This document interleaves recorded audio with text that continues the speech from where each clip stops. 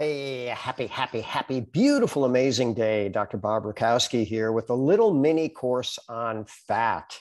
I've read many articles over the years entitled The Big Fat Lie or A Big Fat Lie. And for whatever reason, fat was really vilified throughout the years. But fat is absolutely essential. So let's share some facts. First of all, uh, my background I've been in clinical practice 30 years. I've worked with all ends of the spectrum, world champion athletes from every major sport, and other people that were sent home to die. Thankfully, many of those are still alive today. I've also taught doctors over 10,000 hours of seminars all over the world. So, one of my students reached out to me and said, You know what, Bob? Now they're saying that omega 3s cause irregular heartbeats. He might have said, What the heck, or something different. But at any rate, that just doesn't make any sense. So, what I've taught for years is that omega 3s prevent heart attack, stroke, and cancer by 13 different mechanisms. And those are your references. You can look them up. Uh, and there's literally thousands, thousands of PubMed studies, peer reviewed medical studies on the health benefits of omega 3s. And they're even shown to be better at preventing cardiac problems than those much touted statins. Uh, interestingly enough, as time goes on, we're starting to see a much, much, much bigger downside to statins and a much bigger upside to good nutrition, good health, and omega 3s. Ben Franklin, an ounce of prevention is worth a pound of cure. Uh, and the omega 6 omega 3 ratio. So, again, look up the PubMed study. When you have a four to one ratio of omega 6 to omega 3, that's a really good cardiovascular benefit. When you have a two to one, that's a benefit for cancer.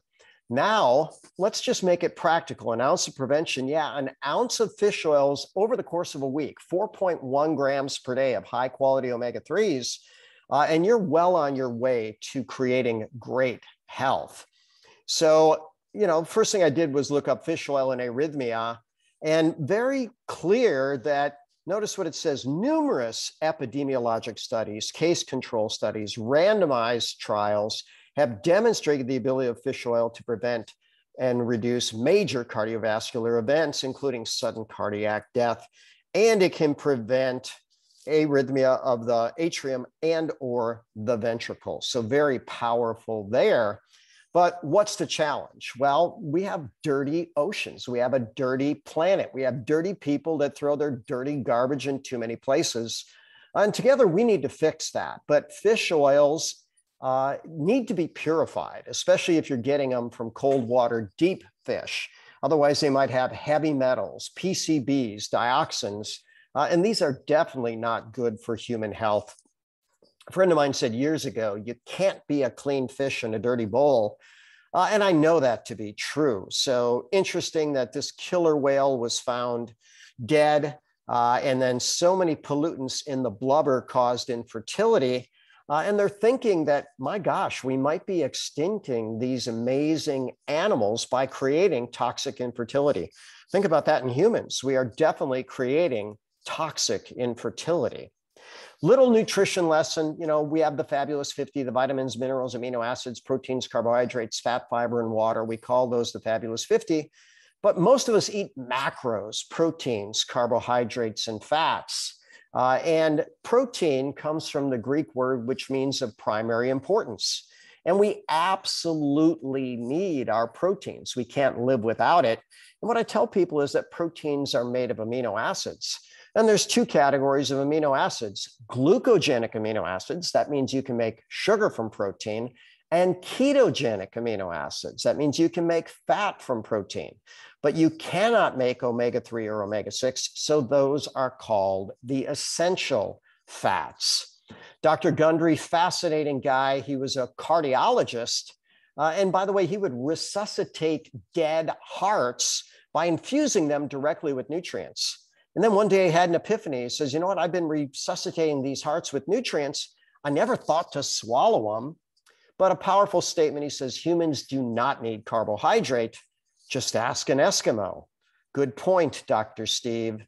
So when we start talking about the essential fatty acids, eh, reasonable picture of good choices.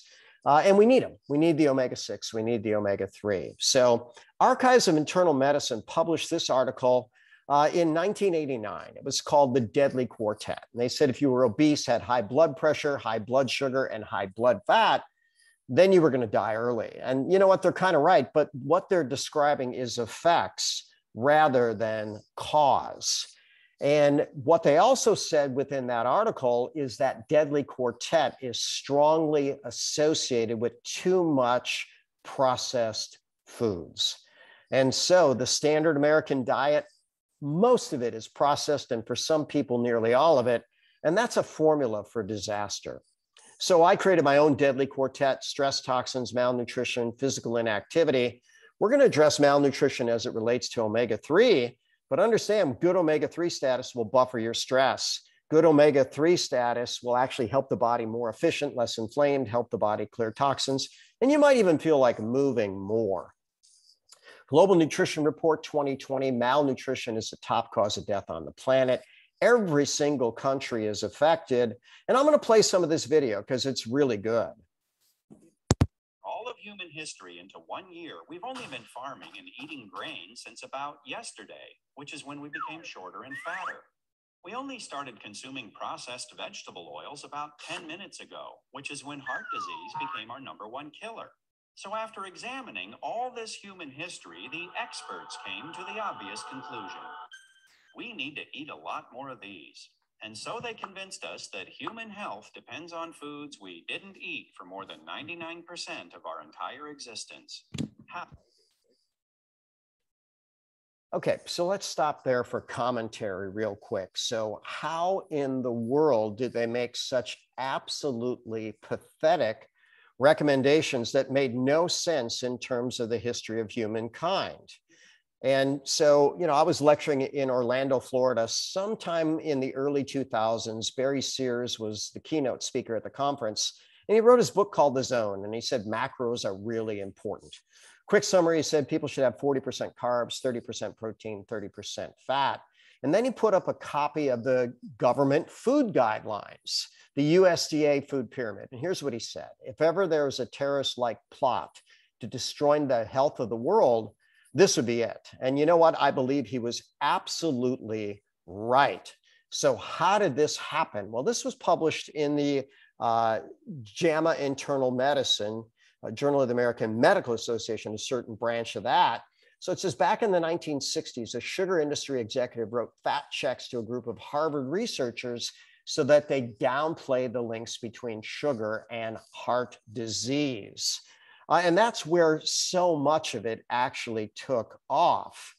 And Bill Maher, you know, I don't agree with a lot of things he says, but he can be funny on occasion. And here's what he said Good health makes a lot of sense. It just does not make a lot of dollars. Uh, and so, lessons of history, I'll share some of those as well. But this is a powerful quote that I shared a lot this last year crime, money, power, drugs are all linked. I want you to think about that and, and do your own research on that. Is that true? And if it's true, well, what, what can we do? Well, maybe we can seek truth and share truth. So, Will Durant, Lessons of History, one of my favorite books. History reports that men who can manage men will manage men who can only manage things, but men who manage money manage everything. Another quote from Will You can fool all the people all the time, uh, sorry, you can't fool all the people all the time, but you can fool enough of them to rule a large country, uh, or maybe even parts of our wonderful world. So back to our processed food. The more processed that a food is, the lower its satiety potential and nutrient density and higher glycemic index. So what does that mean? That means when you keep eating, you're not satisfied. You want more and more of it. Kelly Brownell, Yale University, said food in this country is engineered to be addictive and it makes us fat and sick. Uh, and that's probably a, a, pretty sick way to live. This interesting cover picture here, fat, sick, and nearly dead. And I use that, and then I show a 2021 reference, the current omega 6 to omega 3 ratio in the standard American diet. Modern American diet is 20 to 50 to 1.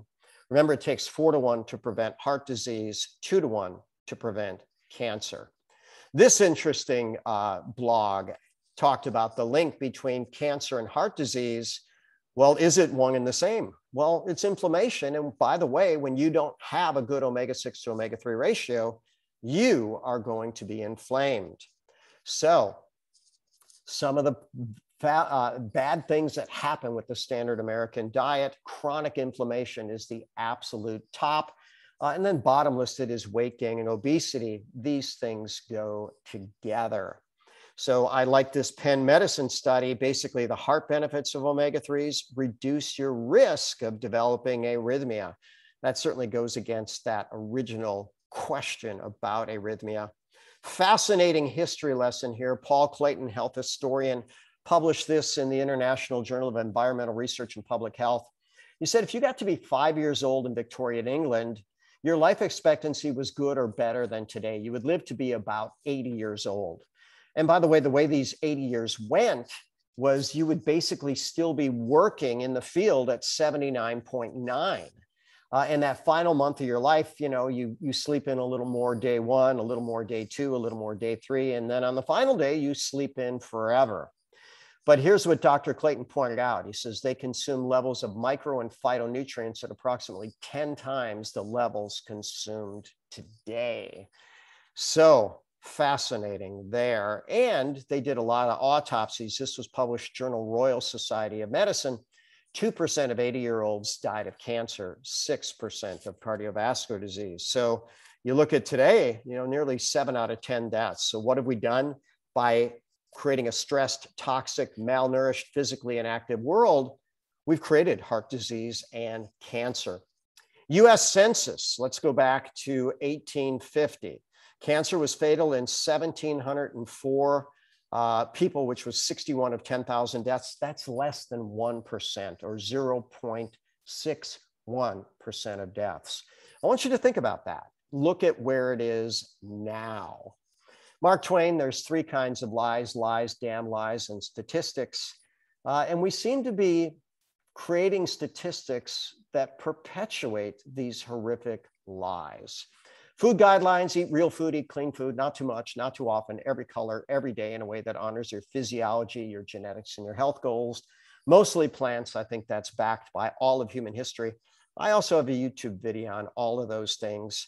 And when Barry Sears created his uh, food pyramid or, or talked about the errors of the, of the USDA food pyramid, I said, you know what? I'm going to create my own nature's foods, superfoods, functional foods, a multivitamin, multimineral, omega 3s with resolvins, probiotics, D3, K2. It doesn't matter to me if you're a world class athlete or fighting for your life. Cover every single layer of this, of this nutrition hierarchy, uh, and you're going to be fine.